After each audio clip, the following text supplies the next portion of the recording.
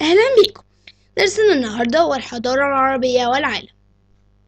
إن التراث الذي خلفه الأقدمون هو الذي أوصل الإنسان إلى ما وصل إليه وجهود فرد أو جامعة في ميادين المعرفة تمهد السبل لظهور جهود جديدة من أفراد أو جماعات أخرى. ولولا ذلك ما تقدم الإنسان وما تطورت المدنيات. فاليونان قاموا بدورهم في الفلسفة والعلوم مثلا. وكان هذا الدور ممهدا للدور الذي قام به العرب وهو الدور الذي هيأ الأذهان. والعقول للأدوار التي قام بها الغربيون فيما بعد. وما كان الأحد منهم أن يسبق الآخر بل إن الفرد كان يأخذ عن غيره ممن تقدموا ويزيد عليه. في وجود ابن الهيثم وجابر بن حيان وأمثالهما كان ممهدا لظهور جاليليو ونيوتن فلو لم يظهر ابن الهيثم لاضطر نيوتن إلى أن يبدأ من حيث بدأ ابن الهيثم. ولو لم يظهر جابر لبدأ جاليليو من حيث بدأ جابر. وإذا فلولا جهود العرب. لبدأت النهضة الأوروبية في القرن الرابع عشر من النقطة التي بدأ العرب منها نهضتهم العلمية في القرن الثامن للميلاد. لقد برع العرب في الرياضيات وأجادوا فيها وأضافوا إليها. إضافات أثارت إعجاب علماء الغرب ودهشتهم. فقد اطلع العرب على حساب الهنود وأخذوا عنهم نظام الترقيم بعد أن هذبوه وكونوا من ذلك سلسلتين وعرفت إحداهما بالأرقام الهندية وهي التي نستعملها اليوم في الشرق العربي وعرفت الثانية باسم الأرقام العربية وقد انتشر استعمالها في المغرب والأندلس ومنها دخلت إلى أوروبا وهي التي نعرفها اليوم باسم الأرقام الأفرنجية حتى إن اللغة الإنجليزية احتفظت باستخدام المصطلح العلمي.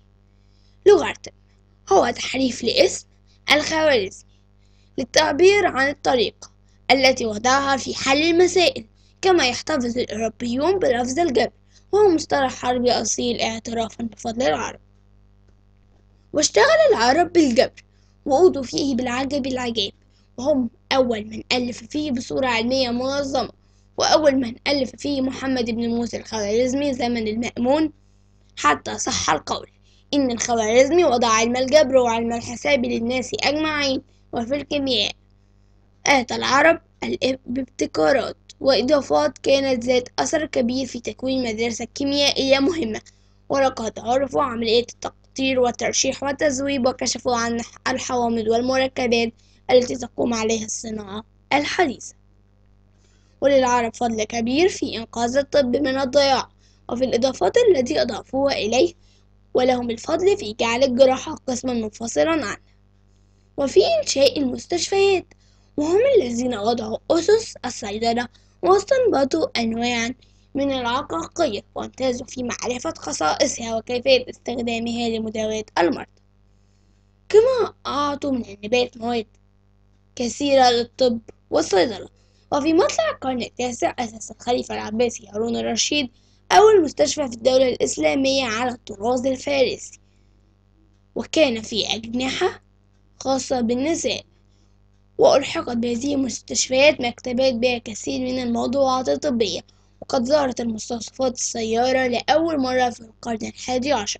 قد وجه فلسفة العرب الأندلسيون الفكر الأوروبي في العصور الوسطى نحو البحوث الفلسفية والدراسات المنطقية وأهم هؤلاء ابن رشد وابن سيناء وابن طفيل الأندلسي وعن طريق العرب عرفت أوروبا مؤلفات فلاسفة الإغريق كسقراط وأفلاطون.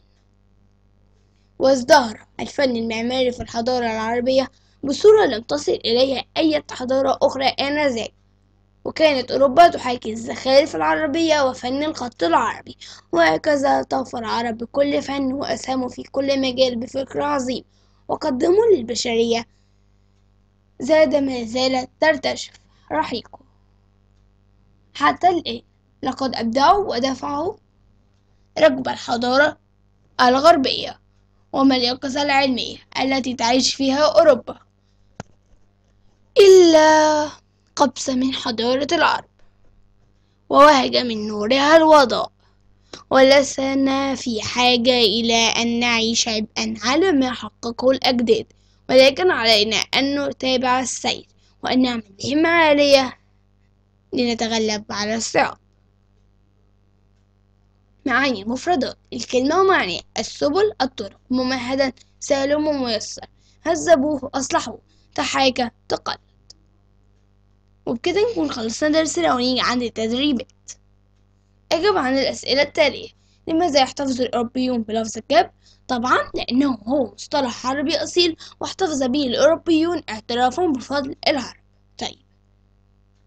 متى أنشأت أول مستشفى في الدولة الإسلامية ومن أسسها؟ طبعا أنشأت في القرن التاسع وأسسها الخليفة العباسي هارون الرشيد. ونيجي عند سؤال المناقشة ما هي جهود العرب في مجال الطب؟